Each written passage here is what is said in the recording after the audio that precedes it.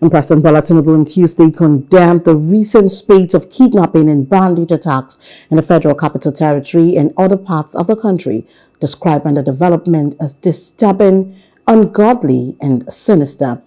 Tinubu spoke when he received a delegation of respected Islamic movement Jamiyatu Ansarudeen at the State House in Abuja.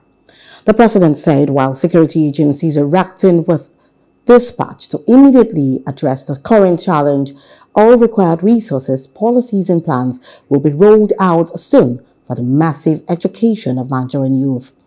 The president said education is the antidote to the troubles agitating the nation, adding there is no weapon against poverty that is as potent as learning. Hello. Hope you enjoyed the news. Please do subscribe to our YouTube channel and don't forget to hit the notification button so you get notified about fresh news updates.